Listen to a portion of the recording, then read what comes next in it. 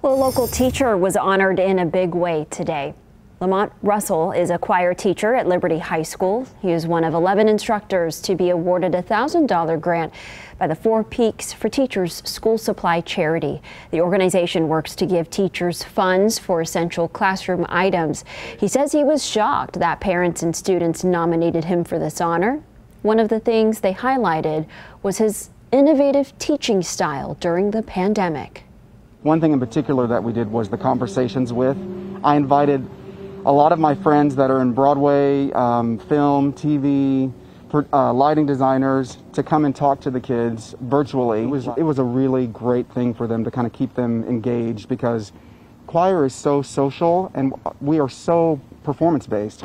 So I, I tried to think of something that would keep them engaged even though we weren't together.